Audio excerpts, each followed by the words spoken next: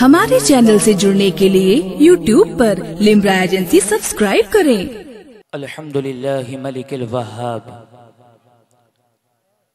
अर्रहमान अर्रहीम तव्वाब। वस्सलातु वस्सलामु अला हबीबिहिल इंतखाब।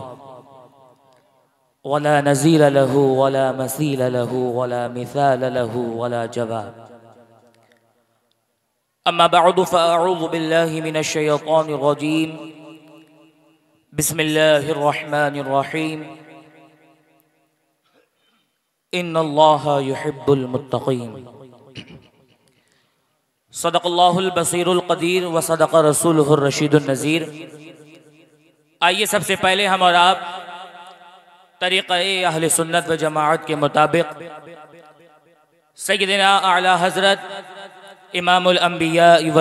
मुरसलीन प्यारी नबी मक्की मदनी अहमदी मुजतबा मोहम्मद मुस्तफ़ा सल्लल्लाहु ताला अलैहि वसल्लम की दरबार बेकस पनाह में झूम झूम कर नजराना दरूद पाक पेश करें पढ़ें बाबाद बुलंद सल्ली व सल्लिम व मौलाना मुहम्मद सय्यदिना व मौलाना मुहम्मद लक और बिअरनी बिजमालिका गुस्नी या रसूल अल्लाह या रसूल अल्लाह सल्लल्लाहु अलैहि वसल्लम। खानकाही सुन्नी मुसलमान हैं। औलियाए किराम से सच्ची मोहब्बत करते हैं। बेशक हक। और देखा गया है कि जो सच्ची मोहब्बत करता है उस पर इल्ज़ाम भी उतने लगते हैं। हम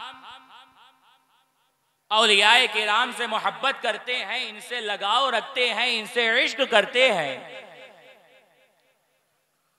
कहने वाले हमसे भी कहते हैं कि ये इतना औलिया अल्लाह से मोहब्बत करते हो, इतना औलिया अल्लाह के मज़ार पर जाते हो, क्यों जाते हो? इनसे मोहब्बत करने की वजह क्या है? औलियाए किराम, बड़ा औलिया अल्लाह करते हो। इनका मकाम क्या है? इनका मर्तबा क्या है? कोई पूछने वाला आपसे पूछ सकता है, क्योंकि हमसे नहीं पूछते। पूछते भी उस बेचारे से हैं कि जो सुबह को आठ बजे घर से निकले और रात को आठ बजे मजदूरी करके घर वापस आए, कि जो जवाब भी ना दे सके। तो कोई पूछने वाला आपसे पूछ सकता है कोई सवाल करने वाला आपसे सवाल कर सकता है कि औलिया अल्लाह से इतनी मोहब्बत रखते हो, इतना लगाव लगते हो, क्या बात है? इनकी शान है तो है क्या? तो सुन्नी मुसलमानों, तुमसे कोई पूछे कि औलिया अल्लाह का क्या मकाम है? औलिया अल्लाह की क्या शान है? क्या मर्तबा है औलिया किराम का? तो घबराने की ज़रूरत नहीं है, परेशान होने की ज़रूरत नहीं है। जो तुमसे ये सवाल करे तो तुम उससे कहना कि उठा अबू दाऊद शरीफ, उठा मुस्लिम शरीफ, हदीस पाक मौजूद है। क्या है हदीस पाक? क्या है? अल्लाह अकबर। एक मरतबा प्यारे आका वसलाम सहाबा किराम के दरमियान बैठे हुए हैं। और मैं इस बात को खूबसूरत बनाकर आपके सामने पेश करूँ तो तारों के दरमियान आमना के चाँद बैठे हुए हैं। बेशक सुबहान अल्लाह सुबहान प्यारे आका अलैहि सलातो वसलाम सहाबा किराम के दरमियान बैठे हुए हैं। प्यारे आका अलैहि सलातो वसलाम इशाफ फरमाते हैं मेरे प्यारे से आबा तुम्हें मालूम है तुम्हें पता है कि मेरी उम्मत में कुछ ऐसे भी लोग होंगे कि जिनके मकाम को देखकर जिनके मर्तबे को देखकर अंबिया और शोहदा भी रश करेंगे।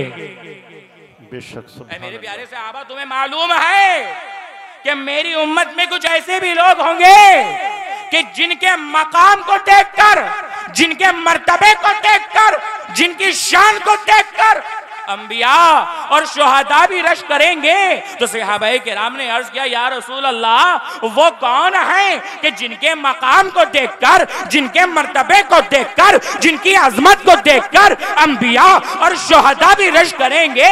या रसूल अल्लाह हमें बताइए। तो प्यारे आका सलाम इशाफ फरमाते हैं, ऐ मेरे प्यारे सहाबा, वो जो लोग हैं कि जिनकी उनकी अजमत को देखकर अंबिया और शोहदा भी रश करेंगे वो आपस में रिश्तेदार तो नहीं होंगे, उनके आपस में कोई माली लेन देन तो नहीं होगा, मगर वो आपस में बड़ी मोहब्बतें रखते होंगे, और कल बरोजे हश्र के जब सब परेशान हाल होंगे, जब सब परेशानी की हालत में होंगे, जब हर जबान पर अल अतश अल अतश होगी, जब नफसा नफसी का आलम होगा, कोई किसी का ना होगा, अरे मेरे प्यारे सहाबा, वो लोग बेखौफ होंगे, गमगीन नहीं होंगे, परेशान नहीं होंगे। तो अर्ज़ साहब के नाम ने अर्ज़ किया, या रसूल अल्लाह कयामत के दिन कि जब सब परेशान हाल होंगे, हर तरफ़ अलातश अलातश की सदाएँ होगी नफसा नफसी का आलम होगा, मगर वो लोग गमगीन भी नहीं होंगे, परेशान भी नहीं होंगे। या रसूल अल्लाह वो कौन है? तो प्यारे आका सलाम ने ग्यारहवें पारे की उस आयत करीमा को तिलावत फरमाया, अला इन्ना औलिया अल्लाह ला खौफुन अलैहिम, वला हुम यहज़नून बेशक वो औलिया अल्लाह है, ना उनको कोई खौफ है, ना वो कभी गमगीन हो। अल्लाह अकबर। ये है अलिया औलिया किराम की शान, कि जब सब परेशान होंगे, जब सब कोई किसी का नहीं होगा, ये औलियाए किराम की जमात होगी, कि जो बेखौफ और बेगमगीन होगी। अल्लाह अकबर हम इनसे मोहब्बत करते हैं। अरे हम खुश नसीब हैं। हम किस्मत के सिकंदर हैं कि हम वाबस्ता हैं सैयदना सरकार शाहजी मियाँ से। अरे ऐसे तलब कर बोलो सुबह अल्लाह। सुबहान अल्लाह सुबहान अल्लाह। दाल रोटी अच्छी हो रही थी। सबूत दीजिए। अरे हम वाबस्ता हैं सरकार अल्लाह मियाँ से। अरे हमें मोहब्बत है सैयदना सरकार ताजुल औलिया से। हम फख्र करते हैं। और हो सकता है कि आप में, क्योंकि अहले सिलसिला बैठे हुए हैं, आपने सुनी होगी वो क्लिप। बतानी भी ज़रूरी है बात।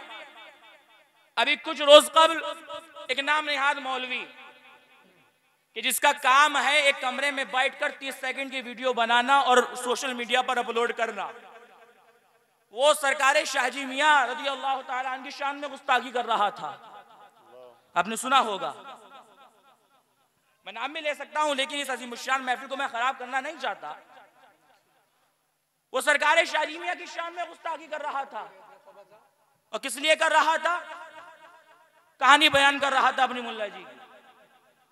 और कहानी बयान करते करते बारगाह शाहजी मियाँ तक आ गया। गुस्ताखाना जुमले अदा कर दिए वो समझ रहा है कि कोई आम जात का नाम है सरकार शाहजी मिया। अरे उस वक्त वक्त को बता दो कि सरकार शाहजी मियाँ किसी आम जात का नाम नहीं है, बल्कि ये दुनिया जिस जाते पाक को कुतुबुल आफ्ताब फर्जुल अफराद, गौसुल अगवास कहकर जानती है, वो जात सरकार शाहजी मिया की जात है। सुबहान अल्लाह सुबहान अल्लाह अरे सरकार शादी मियाँ की जात कोई आम जात नहीं है। अल्लाह हम। बड़े खुशनसीब हैं। और आगे बढ़ जाइए। अरे फख्र करना चाहिए हमें अभी नसीब पर कि हमें इनका दर पाक मिला। है अपना सर खम करने को इनकी चौखट मिल गई है। अपनी आँखों का सुरमा बनाने के लिए इनकी दरबार की धूल मिल गई है। अल्लाह अकबर।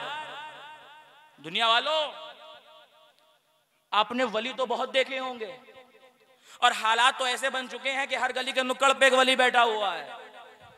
वली बता रहा है मैं वली हूँ मैं वली हूँ मैं अल्लाह वाला हूँ मैं अल्लाह वाला हूँ। हर गली के नुक्कड़ पे आपको एक मिल जाना है। हर गली के नुक्कड़ पे है। अच्छा एक बात यहाँ और समझिए। खुदा जिस हाल में रखे उस हाल में खुश रहना पड़ता है।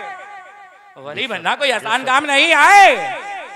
वली बनने के लिए खुदा जिस हाल में रखे, उस हाल में उसका शुक्र भी अदा करना पड़ता है। वली बनने के लिए दिल में खुदा का खौफ भी पैदा करना पड़ता है।